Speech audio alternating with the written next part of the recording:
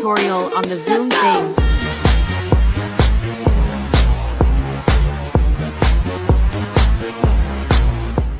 Step 1. Get your clip. Step 2. Add sound. Step 3. Match cut yellow dots.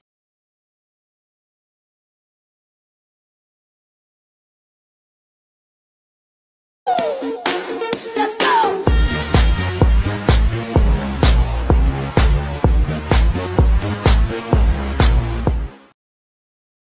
Now see what I do.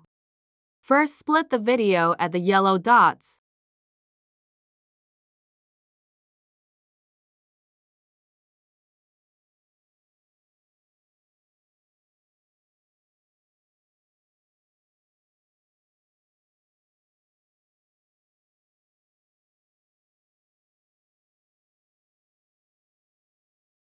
Choose the first short clip you splitted and add a keyframe.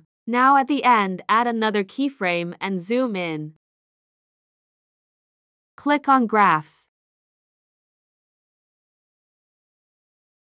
Choose Ease Out one.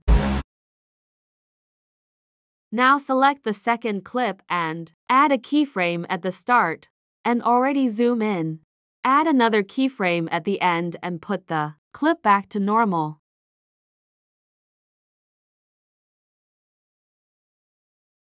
Click on Graphs and select Ease Out one again. Now select the next clip at a keyframe. Add another one at the end and zoom in.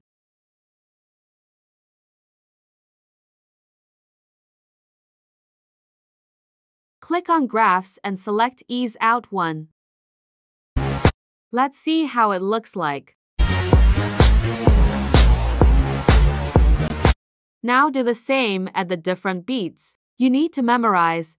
First clip keyframe at the start, and another keyframe at the end then zoom in. Next clip the opposite, keyframe at start zoom in. Try to make it look like the clip before at another. Keyframe at the end and zoom out to normal. If you have more beats, just repeat it first zoom in at the end keyframe and next clip opposite. And everything again.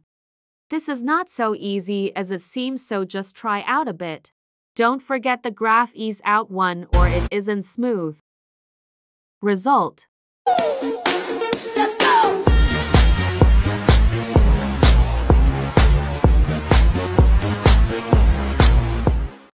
I hope this helped you.